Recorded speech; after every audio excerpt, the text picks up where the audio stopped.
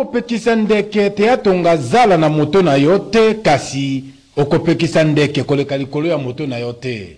Bandeko balandi ya Canal Congo Television pe ya lokole ya Congo, napesi bino mbote pe esengo mingi pamba te bozalaka ebele baye bokolandaka biso mpo ya nsango ya biso o lokota la lingala. Mokolo mwa lelo, tokofongola yango na ngambo ya Assemblee nationale mpo na koyebisa na bino ete mwana mboka Jacques Jolie Sengekeli, Rapporteur ya Assemblee nationale ayambaki bongo lipinga ya bakeli mibeko ya etuka ya Tshuapa. Bolayi bwa nsango na Fabrice Ngudi Kanzenza.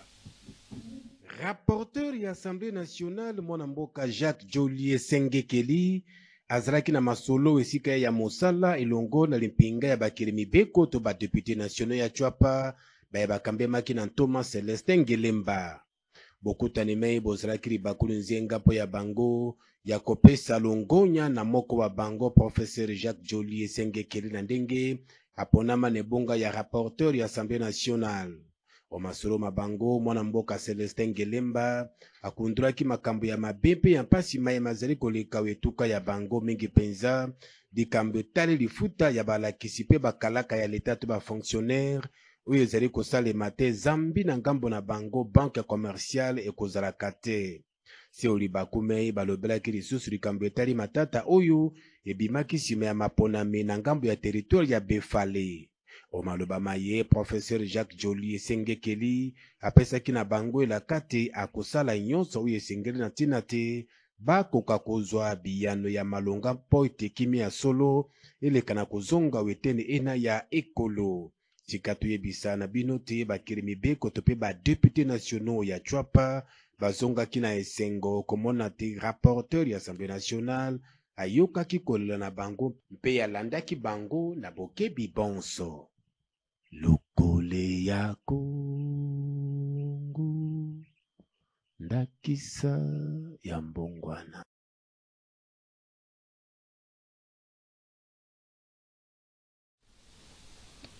Tokoba na sango na biso mpo na koyebisa na bino te lyoko limpinga ya ba nkombo ya mboka to mpe ba chefs coutumiers bazalaki mokolo mwa lelo na ngambo ya ambassade ya Etats-Unis d'Amerique uta commune ya Gombe.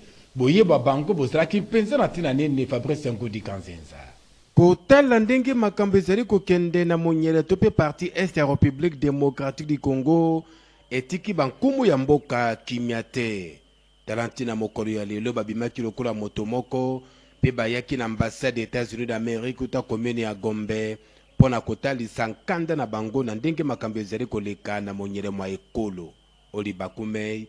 Ba nkumu ya mboka batelemaki mpe bayembaki boye. Mokeli ya ba koko na biso ata balobi.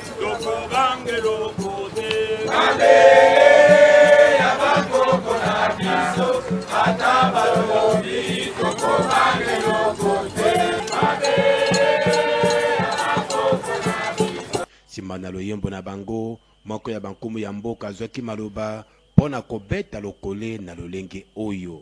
Ntina nini tobengani awa? Tomoni que totikali ba mbula ebele, plus de 30 ans, mboka na biso eza na kimya te. Bitumba eza kosila te cote ya Est.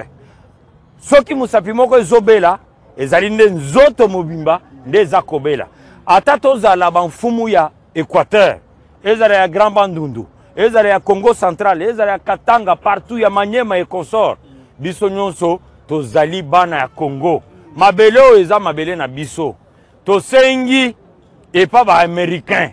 Toyaki awa semaine passée Ça fait déjà presque trois semaines totikaki memo na biso ndenge bango bazokotela Rwanda mpo babotola biso mabele biso bakolo mabele tokondima ata mokolo moko te mabele eza mabele na biso tokolinga koperdre ata 1 centimetre te mbala oyo toye lelo eza ya suka mpo na kokutana na bango soki balongoli bato na bango te Oyo tokosalela bango ata mokili mobimba ekokamwa.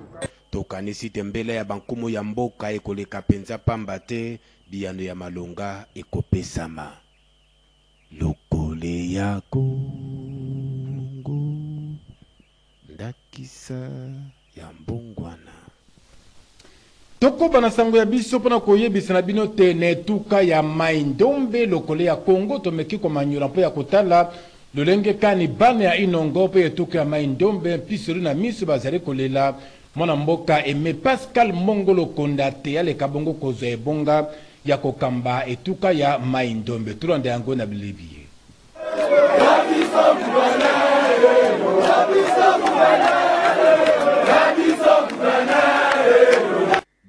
kokokisa makanisi ya kitoko oyo azali na yango ya kotombola Republique Democratique du Congo, tata mokonzi wa ekolo Felix Antoine Tshisekedi Tshilombo azali na bosenga ya bato ya mitema ya malamu oyo balingi mboka mpo na kosunga ye na mokumba azali na yango. Soki lelo okomi na etuka ya Mai-Ndombe, okomono te mokambi ya parti politique ebengami Congrès national africain pour le reveil du Congo, CENARC na bokuse, mwana mboka Aimé Pascal Mongo Lokonda azali moto oyo bana ya Mai-Ndombe baponaka ye, ezala na maponami ya national to mpe ya provincial, mpo na kozala molobeli ya bana ya Inongo mpe etuka mobimba ya Maï-Ndombe. Na etuka ya Maï-Ndombe, Aime Pascal Mongo Lokonda ayebani lokola moto oyo alingi developpement ya etuka na ye ya Maï-Ndombe mpe ya ekolo Congo democratique mobimba.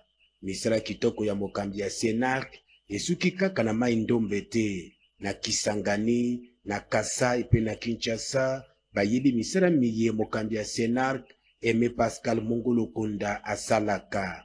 Na moyi ya lelo, ebonga ya kokamba province ya Maï-Ndombe ebongi na ye.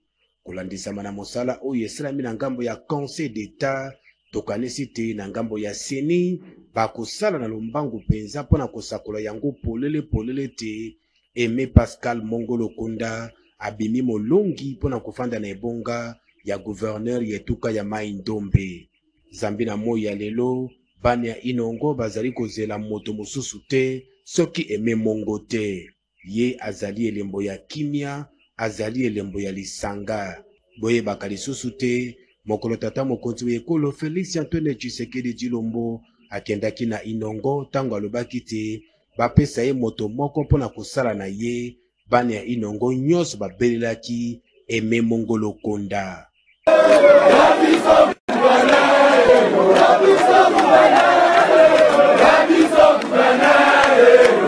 Kofandisa Aime Mongo na ebonga ya gouverneur ekozala elembo ya kimia mpe yango ekosala te etuka ya Mai Ndombe ekende liboso. Lelo oyo na Inongo mobimba bazali kozela Aime Pascal Mongolo Konda Lokoko nyongo arc-en-ciel lokole ya Kongo ndakisa ya mbongwana. Na sango esusu bandeko balandi bosengeli koyeba te bakobengaka ye na nkombo Gauthier Lukusa Mukendi azali fils ideologique ya Bayi Moto mwana mboka ona Atelemi mpenza mpo ya kopika misisa ya lingomba ya Mouvement de liberation du Congo, mlc, na ngambo ya Kasai oriental awa na Kinshasa. Gauthier Lukusa Mukendi apiki lisanga ebengami na nkombo te Wazalendo ya bayi moto oyo bazali kobunda etumba mpo ya Bemba Tshilobo. Georges Libenge Babuli.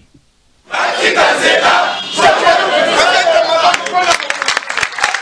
Putulu emataki mpe makala matikalaki mokolo mwa lobi moleki na ndako ya makita ya Mouvement de Liberation du Congo, mlc, oyo ezwami na balabala Enseignement uta commune ya Kasa-Vubu. Tika toyebisa na bino te bilenge ya mlc batelemi mpe bazali kosala mosala monene ntongo midi mpokwa ya kokoma nkombo ya bato baye bazali koya mpo na kokota na kati ya Mouvement de Liberation du Congo.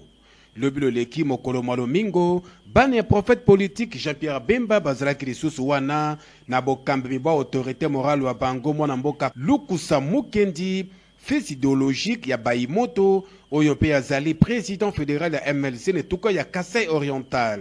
Bana mboka baye bozali komono, babengaka bango les Wazalendo de Bayimoto, bango bazali force ya defense ya Mouvement de Liberation du Congo. Na ntango bazali kokutana, bandeko oyo bazali kobongisa ba strategies ebele mpo na kokokisa mposa na bango oyo ezali ya kokanga espace politique nyonso na kati ya Congo democratique na ntina te elata langi to couleur ya lingomba ya Jean-Pierre Bemba, mlc.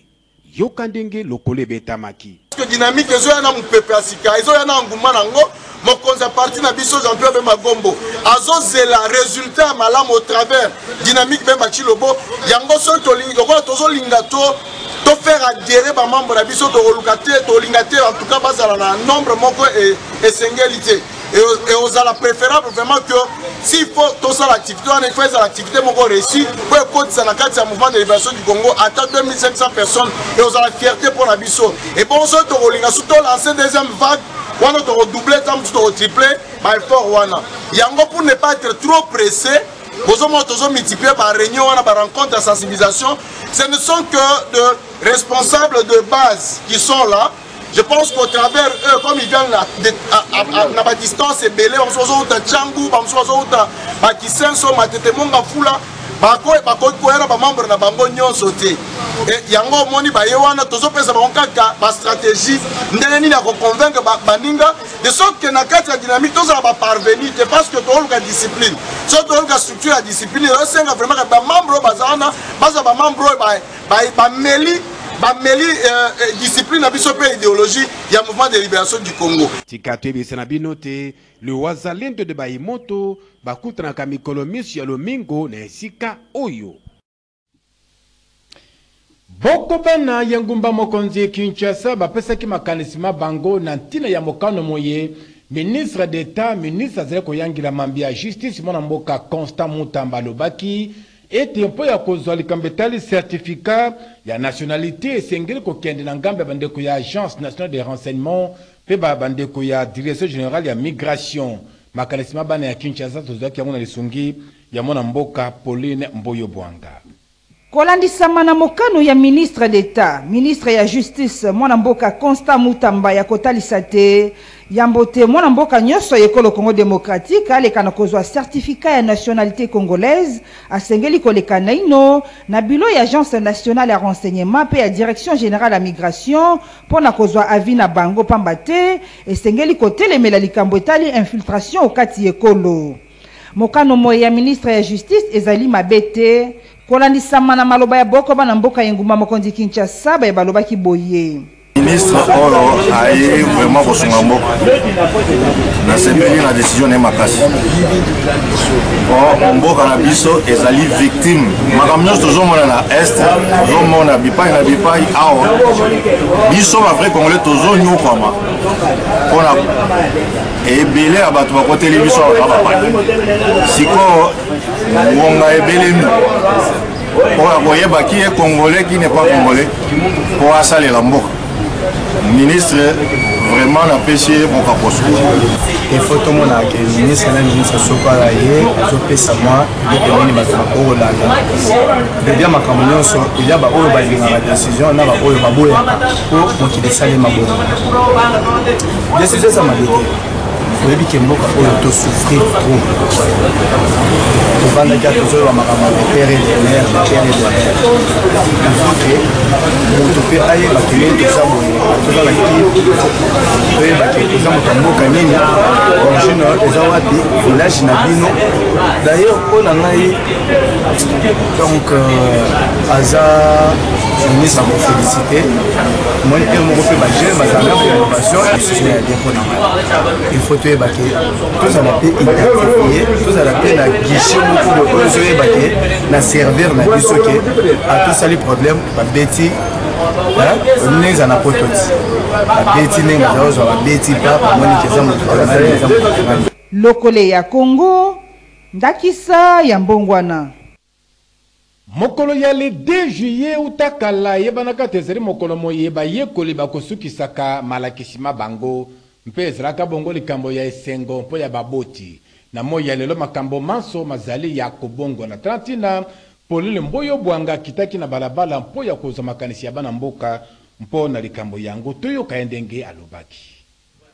Ezali mawa pe pasi ya motema puisque date ya le 2 juillet ezalaki date moko historique pona bana na biso oyo bazo tanga. Soki okomi le premier juillet papa, maman, bana baza nde komilengela lobi le 2 juillet ezali programmation. ndenge ezalaki kosalama okomona mpenza directeur okomona prefet babongisi makambo ya bana mpenza propre na bakado na bakado na mwana oyo akobima premier deuxième troisième baza na bakado otali pourcentage mwana asali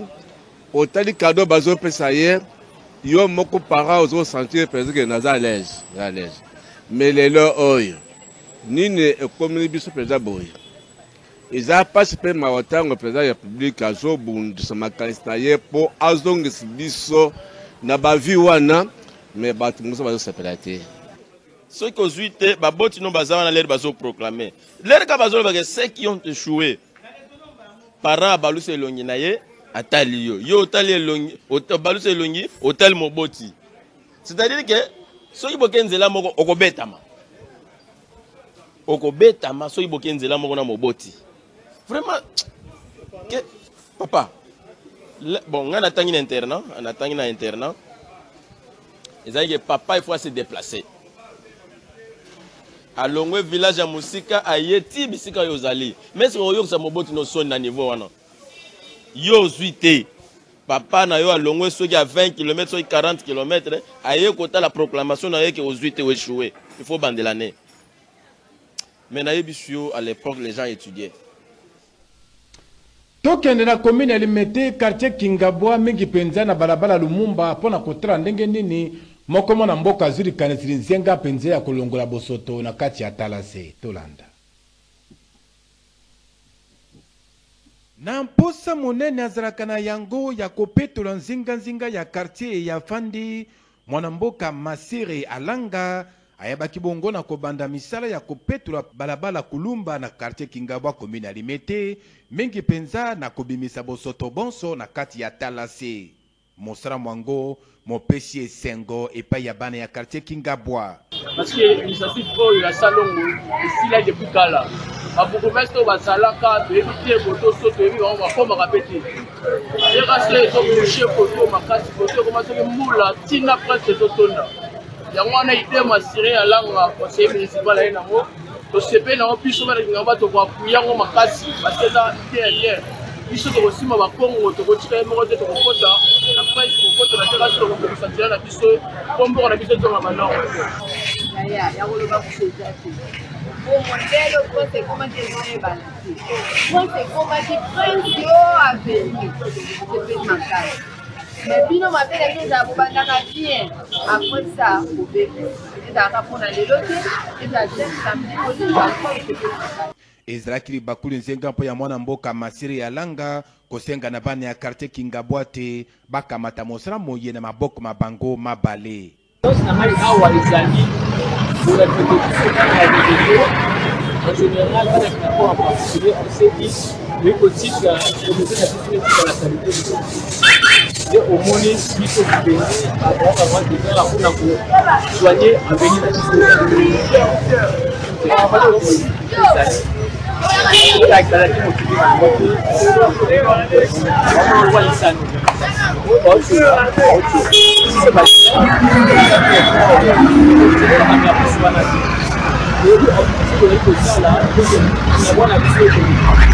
tika toyebisa na bino te likanisi linzenga liye mwana mboka masiri ya langa azwi ya kolongola bosoto kati na kartier ekopesa libaku na bana ya kartier kingabwa Te babika na nzinganzinga oyo ezali peto, mpe makono matungisa bango te.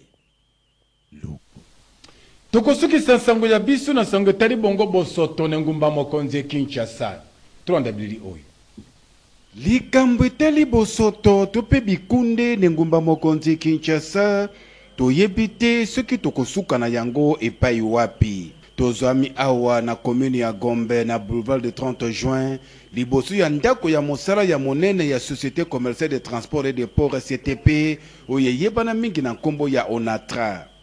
Ndenge bilili bizali kolakisa, liboso ya ndako yango, ekunde moko esalami awa oyo toyebi te soki bana mboka bakosuka na yango epai wapi. Atako bato basusu bazali kosala manso po na kolongola bosoto yango, kasi bato misusu ya mitema mabe bazali se kozongisa bosoto na esika yango, oyo ekoki komema makono epai ya bandeko baye bakosalaka misala mya bango na esika eye. Na engumba mokonzi Kinshasa, salite ekomi lokola lolenge ya kobika na bato. Epai na epai na Kinshasa, bosoto. Tokanisi te bakambi ya engumba mokonzi Kinshasa bakozala mpenza na mosala monene ya koluka kopetola ville province ya Kinshasa na ntina te bafandi ya engumba eye babika na kimia. Esuki bobele wana te, na bisaleli ya Fecofa, kuna mpe motindo se moko. Tala bilili oyo. Ndeko moko akangaki monoko te yoka ndenge alobi. Kono tala centre ya fecofa tala centre ya fecofa tala centre ya fecofa salite boye baye kono bino centre na bino tala centre oyo mboka nini oyo bozwaka mbongo mpe bozwaka mbongo te bamatch ezobetama barecette ezozwama bozwaka mbongo mpe bozwaka mbongo te fifa apesaka mbongo chaque année tala tala Filme na ba matiti oyo. N'importe quoi avec ces pays. Ekozala mpenza likambo ya esengo na bakambi ya sika ya Hotel de Ville ya Kinshasa te bazongisa Asa Longo Alinga mosala na engumba-mokonzi ya Kinshasa mpo na kopetola nzinganzinga mpe kopesa makoki na bana ya Kinshasa te bafanda na engumba oyo epetolama. Lokole ya Kongo, ndakisa ya mbongwana.